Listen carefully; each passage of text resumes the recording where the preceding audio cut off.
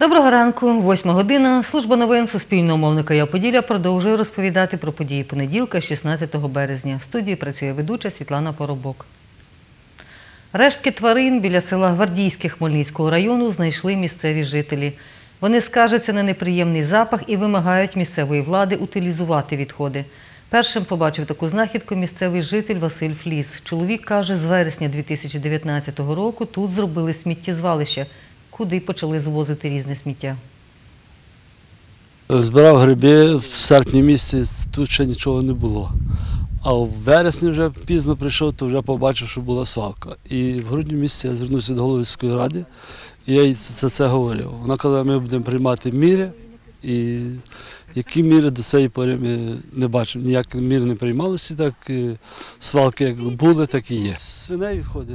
Свиней ці от відходи звалені є місця, великі машина привозить, які обвали, видно, з шкури сняті, обвали віддільно зроблені, це якийсь м'ясокомбінат. Бо це дядько не вивезе, бо він все на базарі продає.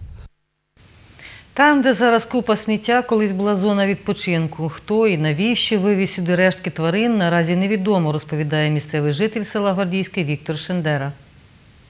До мене подзвонив брат і сказав, що за селом є вивезена купа костей з-під тварин. Тут між Немирчинцями і селом Немирчинці, селом Гордійське є дорога до ставка, як ми називаємо степ.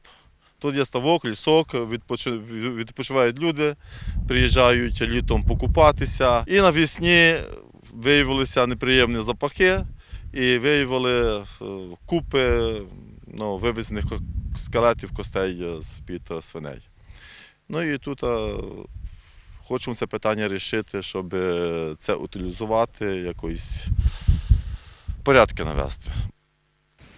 Працівники екоінспекції в Хмельницькій області зафіксували факт несанкціонованого сміттєзвалища в Гвардійському. Що робитимуть далі, розповість Андрій Гуменний в наших денних випусках новин.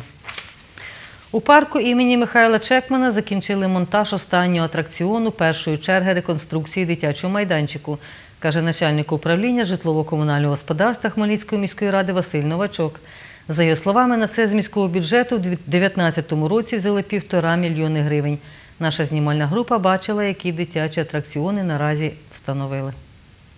Хмельничанка Яна Щіпко разом із дитиною сьогодні вперше випробувала встановлений атракціон Канатна доріжка. Каже, задоволена, що відремонтували дитячий майданчик. Жінка додає, тепер діти можуть безпечно тут гратись. Врахували якби безпеку для дитини. От, е, от вмонтовані ці крутілки. Ми в захваті. Ми все літо тут гуляли з дитиною.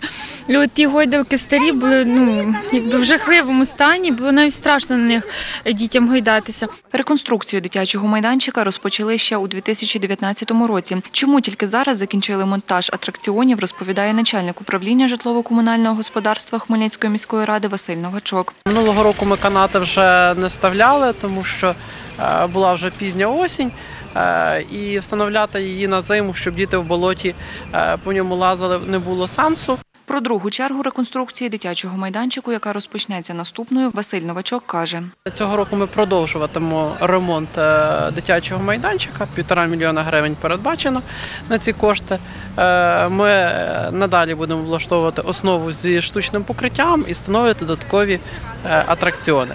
Також плануємо викласти з бруківки пішохідні доріжки. У липні 2020 року планують здати в експлуатацію другу чергу, додає Василь Новачок. Катерина Шевчук, Дем'ян Цегольник. Новини на Суспільному. Хмельницький. За кілька секунд ефір каналу Я Поділля продовжить твій ранок. Ми з вами зустрінемося за півгодини. До побачення.